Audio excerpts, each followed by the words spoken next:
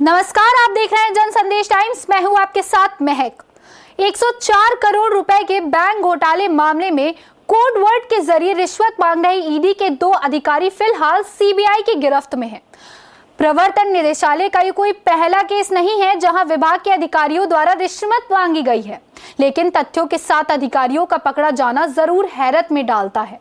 Bank of Baroda में हुए 104 करोड़ रुपए के घोटाले में सीबीआई और ईडी आमने सामने आ गई है। 104 करोड़ रुपए के बैंक घोटाले में मामला रफा दफ़ा करने के लिए 75 लाख रुपए की रिश्वत मांग रहे प्रवर्तन निदेशालय के उप निदेशक पूरन कामा सिंह और सहायक निदेशक भुवनेश कुमार को सीबीआई ने उनके दो सहयोगी समेत चार लोगों को गिरफ़्तार किया है।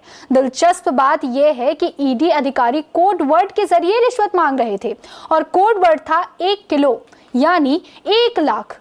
गिरफ़्तार आरोपियों को कल सीबीआई की विशेष अदालत के सामने पेश कर रिमांड पर लिया जाएगा।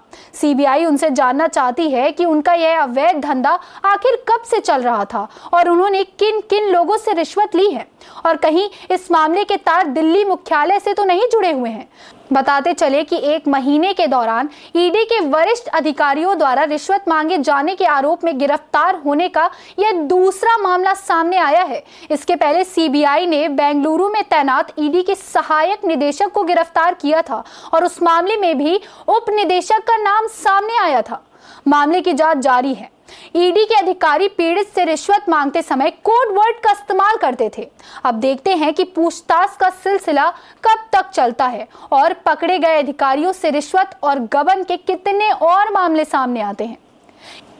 अगर ईडी जैसे इतने महत्वपूर्ण विभाग के अधिकारी ऐसा करेंगे तो ये वाकई ईडी के कामकाज पर एक बड़ा प्रश्न उठाता है। अगर आज आपको हमारी ये वीडियो पसंद आई हो तो हमारे यूट्यूब चैनल को सब्सक्राइब करें, हमारी वीडियो को लाइक करें और शेयर करना ना भूलें। धन्यवाद।